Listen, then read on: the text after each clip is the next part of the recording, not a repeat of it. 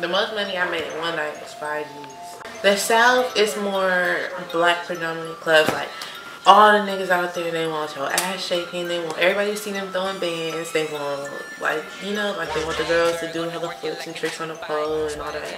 Like that's more entertainment down south. Better mean real niggas inside. Woulda thought I was from Richmond. Yeah, I'm a rich guy. Schooling all these broke niggas. Tell them call me sensei. In the club throwing money cause a nigga been paid. Looking for a bitch with an ass like Kim K. Tonight you gon' dance for me. Know you heard Beyonce when you I really like the pole dancing. That's what draws me in. Is doing the pole dancing, learning new tricks.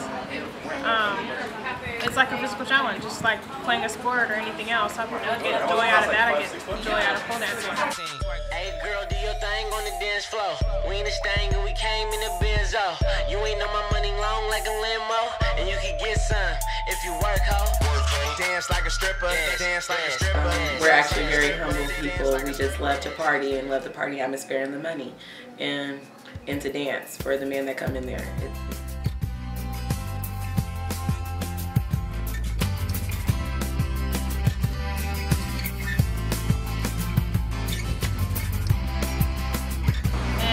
Santa Barbara, it's Coke. Everybody does Coke. Coke everywhere. Coke everywhere. Lots and lots of Coke. No, the stupid drug is gonna solve my problem right now. No, but I have somebody coming in at 4.30 for a half hour dance with me. It doesn't embarrass me. I know that I'm a drug addict, Joe.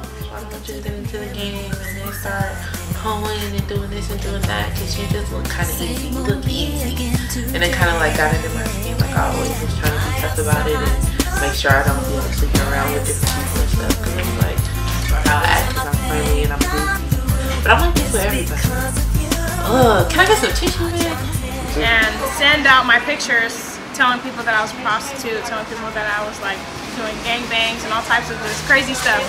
Send, sent it to my high school teachers, to my brothers and my sisters, to my dad, my cousins, everybody. They prostitute and they prostitute in the club and the parents like they come in there and they make sure the girls get certain you know customers and they kind of bogart a little bit and some of them even come in there to try to knock other hoes or strippers or whatever so At all. I feel like if I'm not having intercourse it is not bingo um, If you're gonna do it, do it. If you're not, then don't.